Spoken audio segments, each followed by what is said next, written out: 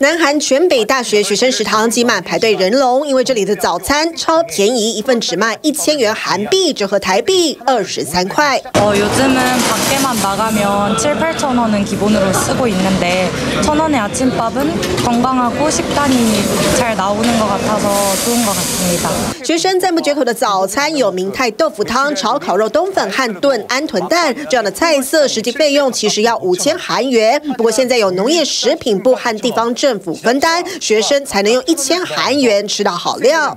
천원의아침밥사업은전북지역대학9곳을포함해전국186개 대학에서실시되고있습니다 不过，一般南韩民众还是得面对物价飙涨压力。네, 과일값 고공행진의 국제유가 상승세까지 겹치면서 지난달 소비자 물가가 다시 3%대로 올라섰습니다. 根据统计，南韩二月份新鲜水果价格一口气上涨百分之四十一点二，涨幅创下三十二年新高。其中苹果因为气候恶化和炭区病菌的影响，冲击产量，价格飙涨七成。不过，南韩的人均国民所得又超车台湾。